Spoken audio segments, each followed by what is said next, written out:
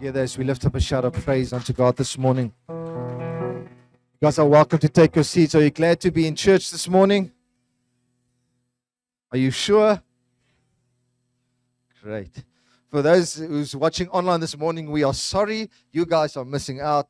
It's just wonderful. The blessing to get together as a church and worship together. There's just something spectacular about that. If you are here for the first time this morning, good morning. Um, we ask a 12% tithing in our church, just mentioning that for the, what that's worth. We are speaking about anyway, number two, when life gives you lemons and your aunt says, tequila. Okay. uh, okay, I don't have new jokes. Okay, so let's just jump in 1 Peter 1, verse 3 up until verse 9. Blessed be the God and Father of our Lord Jesus Christ. According to his great mercy, he has caused us to be born again to a living hope through the resurrection of Jesus Christ from the dead, to an inheritance that is imperishable, undefiled, and unfading, kept in heaven for you, who by God's power are being guarded through the faith for a salvation ready to be revealed in the last time. Verse 6. In this you rejoice, though now for a little while, if necessary, you have been grieved by various trials, so that the tested genuineness of your faith, more precious than gold that perishes through it, uh, though it is tested by fire, may be found to result in praise and glory and honor at the revelation of Jesus Christ. Verse 8 Though you have not seen him, you love him. Though you do not now see him, you believe in him and rejoice with joy that is inexpressible and filled with glory. Verse 9 obtaining the outcome of your faith, the salvation of your souls. Let's pray. Father, as the song said this morning, we declare that we are not enough unless your presence rests upon us, Father. So, in this moment, we invite you to come and rest upon us, Father. We invite you to be welcome amongst us, Father. We have gathered to meet with you. So, this morning, I bow down lowly before your throne, Father, and I humbly request that you would anoint my lips once more this morning, Father, because of your goodness, because of your grace, not because of who I am. Your word always carries power and authority, Father. And this morning, Baruch Church, we submit our hearts to your word, Father. We submit our minds unto your word, Father. We submit our feelings unto you, Father. This morning, we are here for one purpose, and that is to meet with you. We pray that in Jesus' wonderful name, and everyone says, Amen and amen. So, we're going to talk about anyway when life gives you lemons. But I want to. Um, sorry, there's something. If, as you guys know, we're in the month of November, so this new series that I'm talking about, it's a little bit of a combination. I had the privilege of having all my dad's old sermons um, and there's a lot, ladies and gentlemen. The, the files are long and the OneDrive is full. Okay, so there was a lot of stuff that we need to, I was having the privilege of working through. I love checking the behind the scene notes of pastors because you experience them one way, but when I look at the planning, I realized that my dad was called because the notes behind the scene. I'm just teasing. I'm just teasing. So, in this new Anyway series, I've got the privilege of re-communicating some of my dad's sermons to you, and this morning is going to be exactly the same. Um, but before I jump into that, November month is the month where I get to celebrate. Uh, this is the third year that I have the privilege of leading our church, and it's been a tremendous privilege. And so I just love doing what I do. And then last week I showed you this beautiful um, framed article that my dad wrote when I was ordained as a pastor in 2011. And this morning I've got a, I've got a second relic that's important to me, all right? This was handed to me by Auntie Isabel, all right? Auntie Tannie Isabel sê luister hier langs aan. Hallo Tannie Isabel, ek praat van Tannie. What she doesn't know is she gave this for me for planning purposes, right? She gave this to me the day I was appointed as senior pastor in our church. And she gave me two scripture verses that is written right in front of this. I never used this, this dagboek. But I just kept this because of what she said to me. And I'm going to just, she, she, gave me two, two um, scripture verses. I'm not sure if she was being called and obedient or she was lazy and just Googled two scripture verses, okay? But whatever reason, okay, these two scripture verses are quite close, close to my heart. The first one is Philippians 4, verse 9, and the translation will differ slightly, but I'm going to read from this. So, Tannie Isabel, ek het dit nog steeds. This she wrote to me 1 November 2020. The things which you have learned and received and heard and seen in me, practice these things. And the God who is the source of peace and well being will be with you. She gave me a second verse, Proverbs 2, verse 6, and it says, For the Lord gives, and she puts in brackets, skillful, skillful, and godly. Okay, I thought she was giving me a compliment, but you know, skillful and godly, wisdom. And from his mouth come knowledge and understanding. So, this is something that's special to me. And I just wanted to share this with you due to the celebration of the month of November. And so, Tan Isabel, she's watching on that camera. Let's jump in. I'm going to give you a quick recap what we spoke about last week. And so we are jumping into this whole conversation, talking about when life gives you lemons, you drink tequila or you handle what's happening with you. Okay, don't quote me on that one. So otherwise, I'm going to get into trouble. Go to the next one quickly for me. We spoke about last week. Life chooses what we go through, but we choose how we go through it. All right. Life chooses what we go through. We don't always have the um, control over that, um, but we choose how we respond. And we spoke a little bit about Joseph, going back into my dad's notes and how he was explaining the life of Joseph. And we've got this thing in our life where we pursue happiness consistently. We run after happiness. We, we long for happiness. And so many times people come to church because they think they will find happiness inside the church.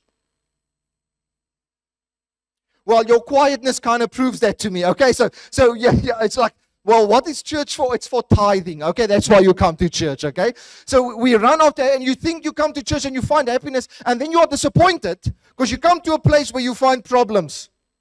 You know why you're disappointed when you come to church? Because when you come to church, you find people. The same people that you work with, the same people in your family. It's real. Church is real. You are real. We have emotions and and I'm, I'm going digressing a, a little. We are we digressing horribly, digressing horribly. But I need you to understand that it's not about pursuing happiness, okay? And on the contrary, I've got worse news. When when we look at Joseph's reward, how he was rewarded, it only fixed things at the end of the story for a short while. But most of his life was difficult. It was a challenge for a long season. And so he was rewarded with hatred, and we went through his whole story. I'm not going to go through that. But I want you to pick up on something. For Joseph, it was never about happiness, but it was always about his integrity. And so the idea is that when life gives you lemons, you need to put the tequila away. And you need to make sure that you stand in integrity in any case. Ons gaan aan bid hierso na hierdie sessie. And then I concluded last week with this whole idea, taking wise words from my dad that he added into his notes. And he, he concluded this, this whole message that we spoke about. When, when life gets difficult, when life gets difficult, what do you do? Well, my dad's answer is very simple. He says, I want everyone to know that I was a happy man because God was with me. Hallo Johan, welkom because God was with me. It wasn't about my life went smoothly. It wasn't about that, that everything was sorted out. It was he wants the end of his story to display that he had a fulfilling life. He had a good life. He had a happy life. Why? Because God was part of his story. And so today we're going to jump on and carry on with this idea. Anyway, number two, when life gives you lemons. The sermon I'm going to take you to is all the way back in 11 November 2004. I know, and uh, for me, this is long time ago. For some of you, you still have polony in the fridge that comes from this state, okay? It just means yes, out, okay? You are old, okay? 2004 is, is very close to 20, 20 years ago. Um, 19 years. Yes, my maths is fantastic. So it, it's, it's been some long time ago, but I'm not going to give my dad all the credit, okay? I just need to take some for myself. I mean, so I just want to mention that the first part of the sermon, I just just out of um, um, credibility for this whole conversation that I'm having. The first part, I'm sharing something from my heart, and the last part, you will immediately hear. You will immediately hear when Pastor Yuan jumps into the sermon. Okay, so I'm not I'm not even going to tell you when when I stop and he starts. You're going to pick this up immediately. Okay, so just, oh, it's it's amazing. It's amazing. Let's start with with one Peter one verse three. And it starts off with this Blessed be the God and Father of our Lord Jesus Christ. And I'm just going to pause there quickly. And I want you to pick up on the terminology God and Father in one sentence, not as normal. Okay, if you've been in our church for a while, you will know this idea a long time already. The concept of calling God Father is not a small concept, it's kind of large. Okay, and the author, as he's writing this, he says, Blessed be the God and Father and immediately he opens up. And even though he's speaking in the reference to Jesus at this moment, because the when you look at the other scripture verses, there's this idea that we are part of God's family, and what Jesus can do, it gives us the permission to do the same. In other words, when Jesus comes and he teaches us how to pray, he says, You can call God your father. But that was a terminology limited to a special relationship. So when you look at what, what is referred to as a son of God, it's something called Israel, for example. Or Jesus, a very close knitted relationship. But suddenly, we notice that in the New Testament, somewhere along the line, Jesus was so profound in his words and in his actions that we realize that now we can have a personal relationship with God, which we know, but we take for granted. You see, it's, it's, it's, it's simple to know this, but sometimes we, we get spoiled with the faith that we've got. We get spoiled with the convenience that we have, that we take something for granted. We take something as a given that is actually a gift in our lives. Some of you treat God just like God. In other words, can I explain that to you? You treat God like someone that's up there and you are somewhere down here. Okay? So you do your thing, he does his thing, and every now and then at a funeral or a wedding, you can make a turn and you say hi, okay? Or when you want to pray that the Springboks win the World Cup, so whatever you guys did, it worked, by the way. And so whatever you do, it, that's our connection with God because God is there, but God is here. But the moment you authorize it, God is my Father, it becomes tangible. It becomes personal. And then we realize that if God is my father, there's a very closeness and accountability level. But you guys know these things, okay? You guys are smart, right?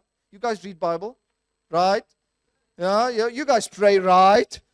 Yeah, yeah of course, of course. I, I'm just asking this just to wake you guys up, not to test you. He carries on to say the following according to his great mercy you see, you get stuff that is okay in life. Then you get stuff that is good in life. Okay. And you want to know what I want to say next? Then there are things that are spectacular. There are things that the excellence level is just so phenomenal. It's, it stands out of the crowd. It's something that you can relate to. It's something you can pinpoint because you know the quality. You know the quality. It is not good, it is great. It's phenomenal. And the author writes us to talk about the great mercy of God. I want you to realize that God's mercy in your life is no small task. You have been getting things that you do not deserve. You have been blessed with grace in your life that you do not deserve because you are fantastic. No, because God is great in His mercy.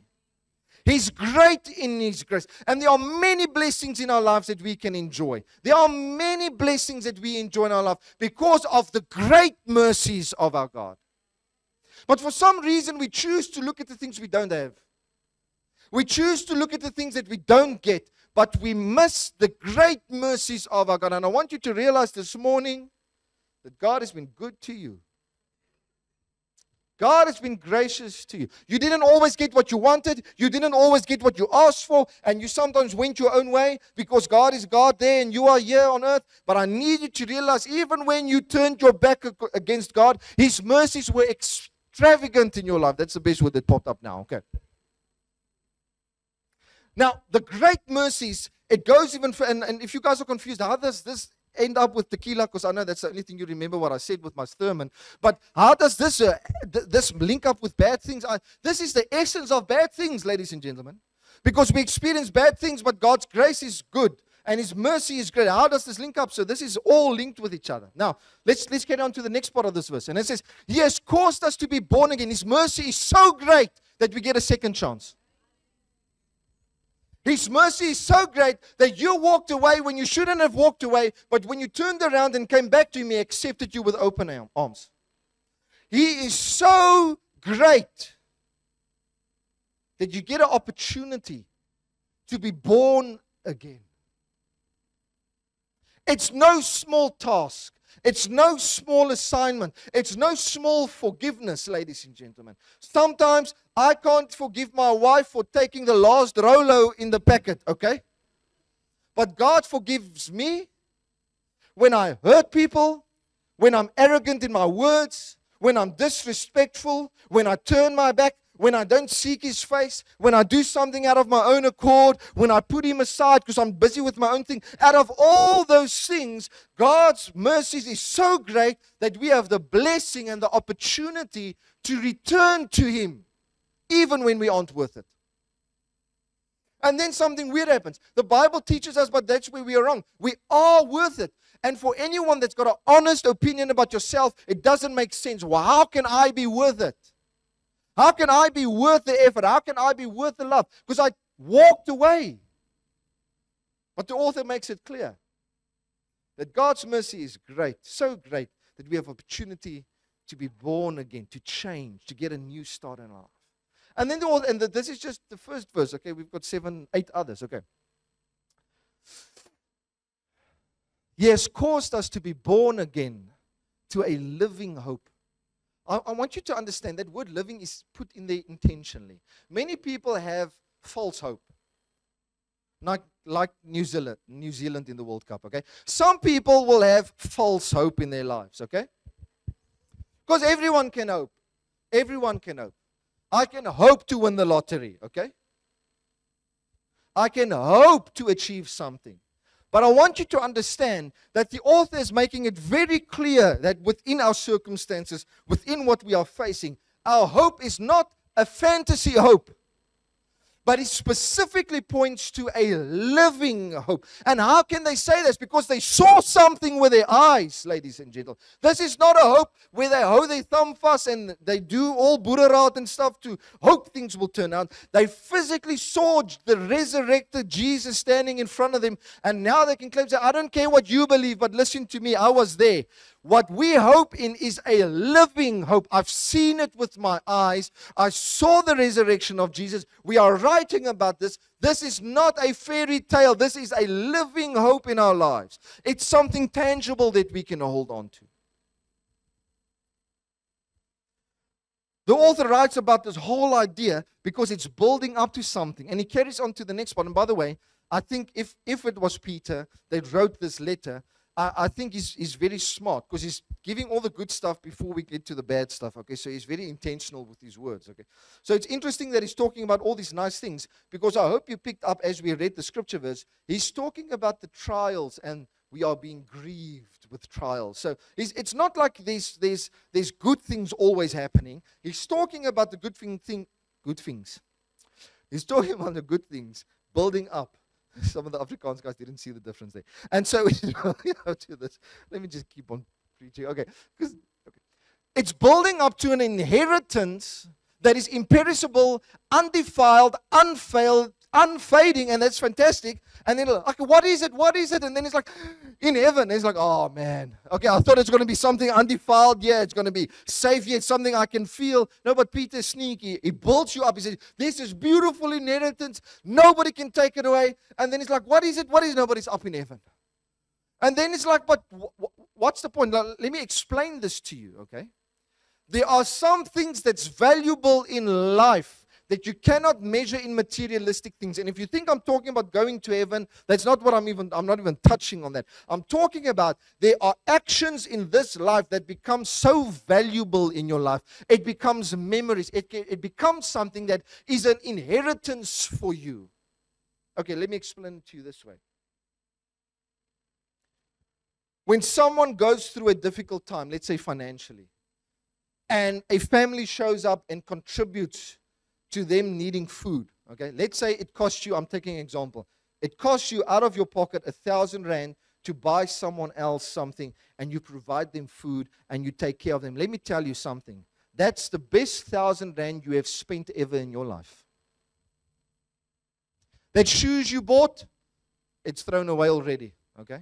That new lawnmower, someone borrowed it and there's a nick on the blade already. That new haircut that you bought, it's it's done, your hair grows again. Okay? That diet, well, it was a lie. Okay, I'm just what I'm trying to say is that when when we follow God, when we have this idea of this living hope, there are areas that we are called to invest in that is treasures in heaven. In other words, it cannot be it cannot perish. Why? Because it's not material things. It's not here. It's not tangible things. It's not something that you invest in, hold in a, in a, in a safe. It's something that you invest in people's spirits, ladies and gentlemen. And that becomes the most valuable things in your life.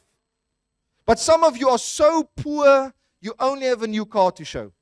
Some of us are so poor, the only thing you have to show is a big house. Some of us is so poor, the only thing that we can show in our lives is materialistic. And then Peter comes in and says that this inheritance that God promised us, we, we are getting trained and built and guided into something that's got heavenly value. It's got eternal value. It's not a car or a coin or shoes. But the moment you begin to invest into others, it cannot perish.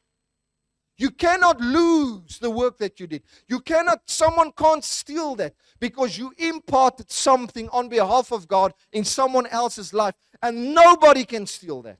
Nobody can take that away. Sometimes we focus on materialistic things, and, and later on in this passage, I'm not sure if you picked up on this, um, there's a reference between faith and gold. Later, okay, maybe I read it a little bit fast. We're going to get to that section. I don't want to rush myself in. But I want you to understand there are valuable things that cannot be measured in money and cars. You cannot evaluate your relationship with your children based on what you buy for them.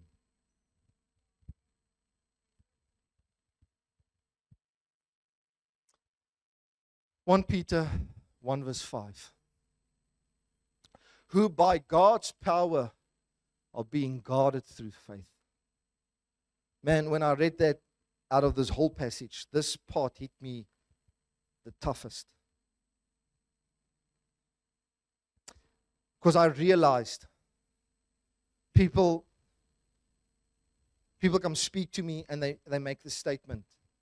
Okay, and this is this is external. This is not how I feel on the inside. This is how they see me on the outside. They say, you are so strong. And I know in my inside I don't feel strong. I, I look at my mom and I, I, I, I, think she's phenomenal in strength, but I know she doesn't feel strong. I, I know, I know that's, uh, that's how she doesn't feel. I I look strong. I look stable on the outside, but on the inside, I feel just like me. I just feel like. And then when I read this verse, it just hit me out of the blue. Why do you have the ability to stand in seasons when other people fail around you? Why do you have the ability to stand strong when other people are falling over? Do you want to know the one single answer? Because you are guarded by your faith. It's your faith that has been protecting you. It's your faith that has been guarding you. It's your faith that has caused stability in your life. You see, this is what makes you different compared to anyone else around you. Because when you walk in the same situation as your family walk in, how come you get to stand and they tend to fall down? Because there's something that's protecting you in your life. It's your faith that has been guarding you. It's not your strength. It's not your ability, but there's divine faith in your life. And because of this faith, there's this form of protection. And now you look stronger than you actually are. You are more stable. You are wiser than you actually are. You are more committed than what the inside is. You, you, you, can I use the word? You over exceed your flesh. Why? Because your faith has been protecting you in many things in your life. And you can't pinpoint this. Okay, I know you can't pinpoint this. I can't pinpoint. I didn't know what it was. I was I was unsure. But there was just a sense of peace. There was just a sense of stability. There was just a sense of faith. Uh, just a sense of focus. And immediately it pops up. It's because of my faith. It's because of your faith. People look at you and your family and they don't know. They think it's money. They think you got a little extra bank account that, that you aren't talking about. They think it's a new medication that you are. They, some people even think it's the supplements and the diet because they want to ask, How do you do that? What vitamins do you drink? Ladies and gentlemen, let me tell you now that you are where you are today for one simple reason it's your faith that you don't even know about that has been carrying you through. And as young people, for example, you are more stable than your parents. You are more stable than your aunts and your uncles. Why? Because they live a godless life. But because you have decided to follow God, because you have decided to pursue Him, there is a protection and it's guarding your life. Faith has the opportunity to protect. And if you think I'm talking about materialistic things, I mean, you just don't know me at all. Your faith is guarding you. You are strong because of your faith. You are called because of your faith. Your life is going to turn out differently because of your faith. It's not skill, it's not ability, it's not personality, it's not materials. But because you have committed your heart to God, there is a sense of spiritual strength that even you can't understand. If you're feeling a little bit weak this morning, test your faith. If you're feeling a little bit shallow this morning, test your if you if you wonder why are they making it, and I'm not talking about money, why are they making it and I'm not making it? I want to ask you to test your faith this morning. It just might happen be that the person that's stable is because their heart is protected. Yeah, getting a little bit heavy now. Let's I'm, I'm going to get back to this if we've got time at the end. 1 Peter 1 verse 6. And in this you rejoice through now, though now through though now for a little while, if necessary, you have been grieved by various trials. So Peter is very smart. He gives a couple of verses and now he jumps in with the real world, okay? He says all these beautiful things, your faith protects you and your heart is strong and all this fantastic thing, but you need to be aware that you can be grieved even with grace. You can be grieved even with grace. Life can happen even with grace. Bad things can happen even with grace. Circumstances can go haywire even with grace. Financial issues can happen even with grace. Health issues can happen even with grace. Just because you are grieved, it doesn't mean grace is lacking, ladies and gentlemen. We must stop trying to manipulate God by using Bible scripture verses to benefit us. Life is life. This is no magic that's taking place over here. There's no voodoo that's taking place here. It's normal people that's deciding to follow God in season and out of season. And out of season is going to happen. If, if there's one thing that I want you to pick up in the Old Testament, you know what the difficult part for the authors of the Bible were? Is to explain how good God is and how great God is, yet Israel is conquered. How, how on earth, how on earth do you reconcile that Yahweh is most powerful, most creator being that there is amongst all the nations, yet Israel and Jerusalem gets defeated and gets overthrown. And the authors sit and they struggle with this, and then they realize it's not God that's missing, it's us that has been missing from Him. It's not that God is not powerful. It's not God is there. We have removed the protection from us because we decided not to follow Him anymore. And God, I don't want to say God pulled away. We kind of left Him like the prodigal son. We left Him at home and we walked away. You can be grieved even with grace in your life. And the grievance is not a reflection of the lack of grace at all. 1 Peter 1 verse 7 so that the tested genuineness of anything that's genuine needs to be tested, ladies and gentlemen. That's why you get a certificate when you purchase certain things that's important. That's why you get something valuated. Because if it's valuable, the genuineness needs to be tested, ladies and gentlemen. When we get tested and when trials happen, it's not the concept of us being always bad. It's not the concept of us doing things wrong. It's because our faith needs to be tested. And I know we don't like this topic in church. why would God test me? Why? Well, God doesn't test you. Life happens, and then you choose who you're going to follow.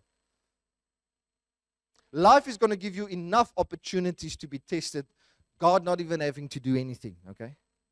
Relationships is going to do enough for you to test you. Your workplace is going to do enough for you to test you. SARS is going to do enough for you to test you. Okay, there's enough test in this world that's got nothing to do with God. But the question is that if you want to know, I mean, I've, I've, I've said this before. I've said this before, and I'm going to quickly say this. Um, Bishop T.D. Jakes, he said this once. He said he knelt one day before the pulpit. He was when he was younger. He prayed, and he was too shy to kneel down because he had holes under his shoes. Okay, he was too shy. And then he said this Today he's confident in his wealth and he doesn't apologize to anyone because he knows he served God when he had nothing. And now that he's got everything, he's still serving God. And he says that testing period was the most influential time on his life because today he stands with confidence knowing that he's not serving the blessings of God. He is serving God. It just worked out that the blessings followed. And so your trials and the testing periods in your life is there to make sure that what you have on the inside is genuine and this becomes valuable. Because you have proven to yourself, you have proven to yourself that you are faithful not because of what you get, but you are faithful because of who God is and you serve Him irrespective of the circumstances. That is more valuable than gold in our lives. But that's not usually how our stories move on. Let me carry on, my time is running out. 1 Peter 1 verse 8. Though you have not seen him, you love him. Just, just phenomenal terminology. Going through this beautiful blessing spot that we just explained, he jumps over to this idea and a short verse trials is going to come. Trials is going to come, okay? And then he, he jumps to a next spot and says, But how do we stay faithful in this? How do we persevere? How do we do things anyway, okay, without tequila? how do we move forward? And he says something significant. He says, Though you have not seen him, you love him. I, I want you to pick up on this. The work that God did in your life is so magnificent that you have the ability to love someone you haven't even seen yet. Some people need a physical manifestation of God. We see it in church. They run after miracles, they run after stories, and many times it's uh, we've come across so many of these miracles that are even fake. It's it's it's fabricated to build up hype. It's fabricated. Some people use doom, some people use coffins, but they do anything to counterfeit the work of what God is really doing. And now Peter is writing and he says, just pause and think that there are these inheritance things difficult happen, difficult times happen, but but yet you guys are committed, yet you guys are pushing through. And then he pauses and he thinks, do you think that I've seen him, but you guys haven't? That his work, his sacrifice was so large that it builds love, and you haven't seen him face to face yet. What magnificence is this? What overwhelming work, what overwhelming grace, what overwhelming love that so many thousands of years later, we have not seen Jesus with our eyes, but yet we experience his work in our lives every single day. That is who we follow. That is who we serve. Verse 9. And then it comes to the end of this part and he says, obtaining the outcome of your faith. I need you to be aware that there's an outcome of your faith. I need you to be aware there's an end story of your faith, okay? Just because you are struggling now, it doesn't mean that this is the end part. No, no, no. There's a trial part and then there's a conclusion of the trial.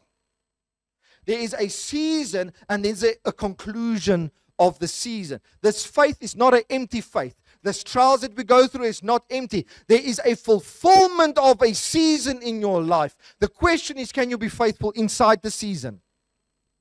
It's not forever. It's a time, it's a season, it's an allocation, it's a trial, it's a testing. But when you walk through this, only you can determine what the end of the story will look like. But I can assure you this there is an outcome of your faith, there's an end result of your faith what that looks like is going to happen to you. Now, I'm going to jump over and just want to conclude this message. I want you to realize that bad things happen. Bad things happen. Or happens. I'm not sure about the tense there, okay? But what we need to focus on is our reactions towards our circumstances.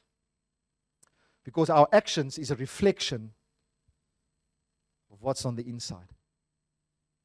Our actions in our circumstances is a reflection of what's on the inside. I'm telling you now, if you're honestly serving God in the bad times, you're going to be strong enough to serve Him in the good times.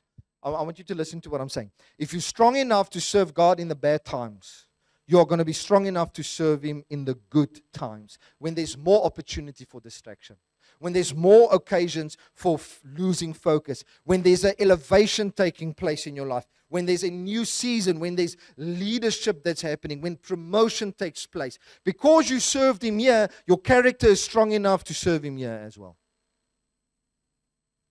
I'm going to conclude with this, and we're going to talk for the last two minutes about the difference between can't versus won't. You see, when we talk about I can't do something, it's a God given limitation. Okay? I can't run fast. Well, unless I'm scared. Okay? I can't fly. And I don't want to fly in the aeroplanes that they have there, okay? I, I, I can't fly. It's God given limitations. But many things in our life is not that we can't do it, is that we won't do it.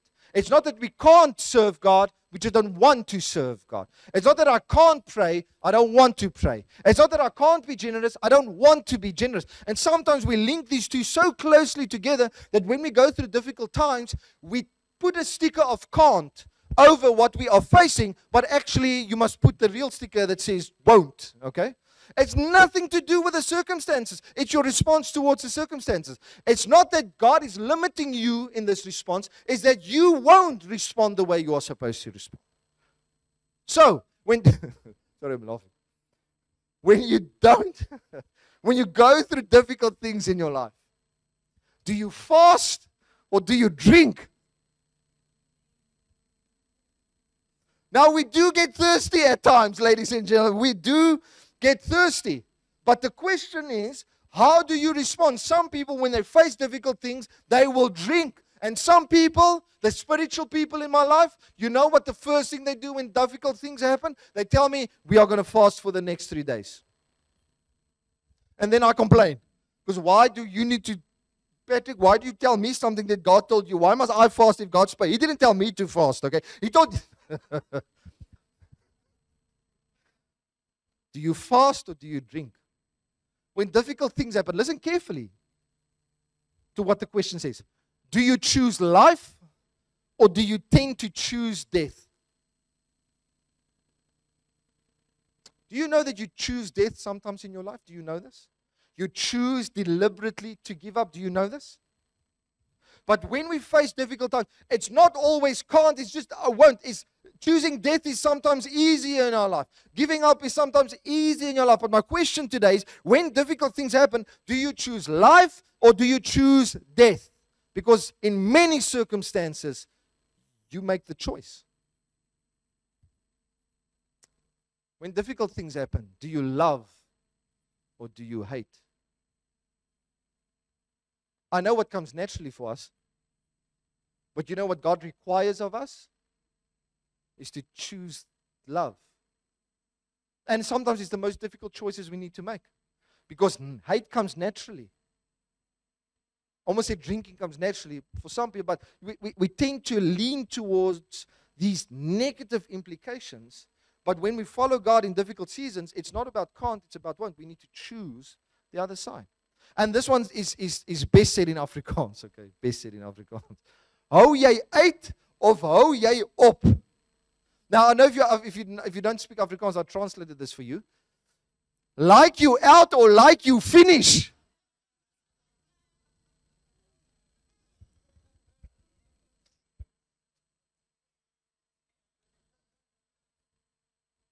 It kind of sounds the same in Afrikaans. No, the, the, the real translation is, and I want to share this with you. When you can go to the next one for me.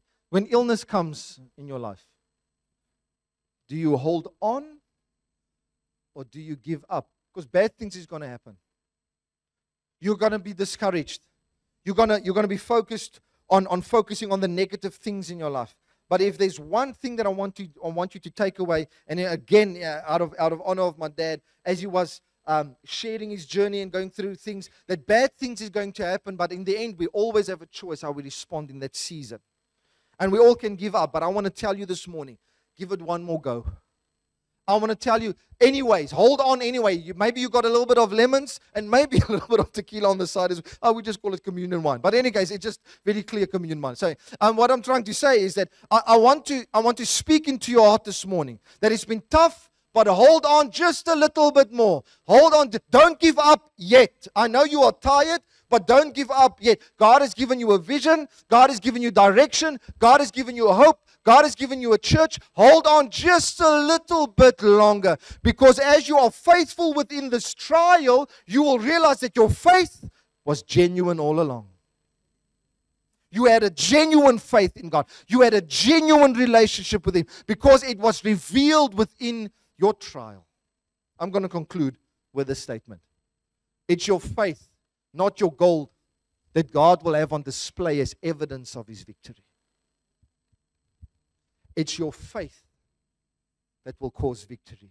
It's your faith that will become valuable. It's your faith that will be your trophy.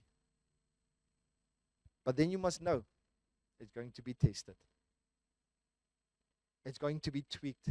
It's going to be cropped on. It's going to be looked at. But if you can serve faithfully within the season, you're going to come out the other side. And a lot of people can say, We know about Jesus, we read about Jesus, but when we persevere in difficult seasons, we can stand with a proud heart and say, We really follow Jesus. Let's pray. Father, thank you for your faithfulness in our lives. What a privilege to be able to just spend some time in your word, Father. Thank you for being good to us. Father, I do not know who is experiencing difficult times, Father. But in this moment, we pray that your spirit would empower them, Father, that your spirit would strengthen them, Father. Maybe there's some people here that has started to give up already, Father. But we want to speak and pray over them. It's not the time to give up yet, Father. We are holding on, we are pushing through, we are moving forward because we know that this trial is just going to display our genuineness, Father. This difficult season is just going to be uh, display our genuine faith that we have in our hearts, Father. And at the end of this journey, our lives will be will bring glory and honor to you. And we can say that we have genuinely loved you. We have genuinely followed you, Father. May you forgive us for the times we turned away from you. May you forgive us for the times that we blamed you, Father. Our hearts are sore, our hearts are broken, but we in this morning surrender our hearts to you, Father. May we be found as good and faithful servants in your kingdom. We pray that in Jesus' name. Amen.